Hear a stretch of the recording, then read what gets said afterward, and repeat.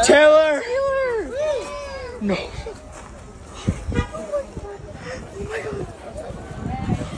I love you, Taylor! I love.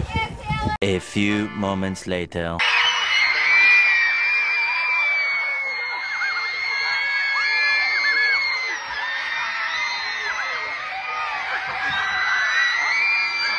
This is insanity because a crowd of thousands of people waiting for Taylor, leaving a private event with her friends, and the police has to get involved.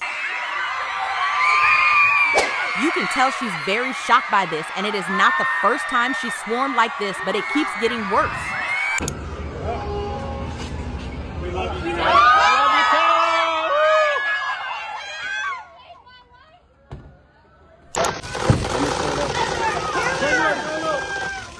I'm sorry. That, that was just.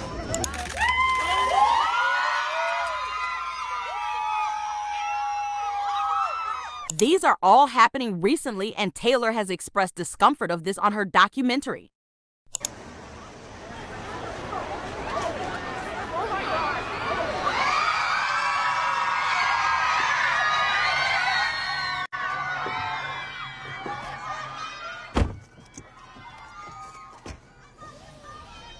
Well,